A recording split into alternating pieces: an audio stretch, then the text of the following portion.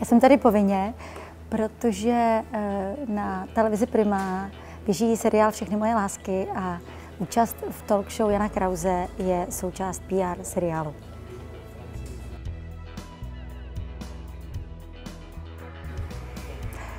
Tak eh, já jsem tady byla před osmi lety, tak jsem zvědavá, eh, co se u Jana Krause v životě změnilo, ale na to bych se ho asi ptala já, ale protože se bude ptát on mě, tak je bezvadný, že on se trápí tím, na co se mě bude ptát a já se vůbec netrápím tím, co mu budu odpovídat, protože uh, on musí být vtipný a já můžu třeba říct, já nevím, nebo hm, nebo budu mlčet.